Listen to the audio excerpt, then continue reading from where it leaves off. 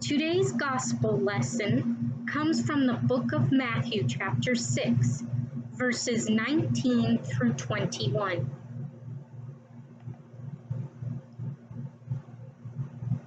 Do not store up for yourselves treasures on earth where moth and rust consume and where thieves break in and steal. But store up for yourselves treasures in heaven where neither moth nor rust consumes and where thieves do not break in and steal. For where your treasure is, there your heart will be also.